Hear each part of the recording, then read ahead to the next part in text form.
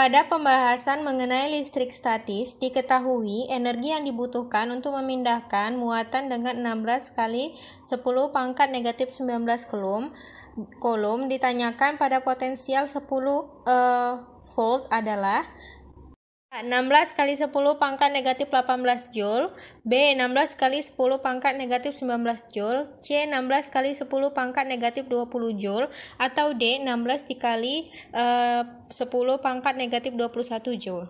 Nah, jadi yang harus kita lakukan adalah melakukan perumusan dengan rumus Nah, jadi energi potensial atau EP itu memiliki rumus yaitu energi potensial Q dikali V, di mana Q ini merupakan muatan dengan satuan kolom dan V adalah volt tegangan.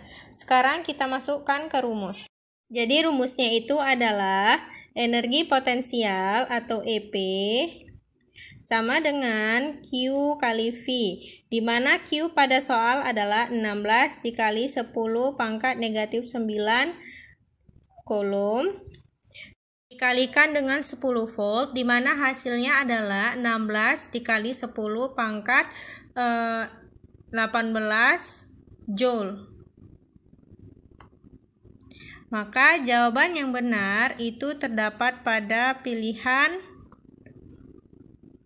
A, yaitu 16 kali 10 pangkat negatif 18 Joule.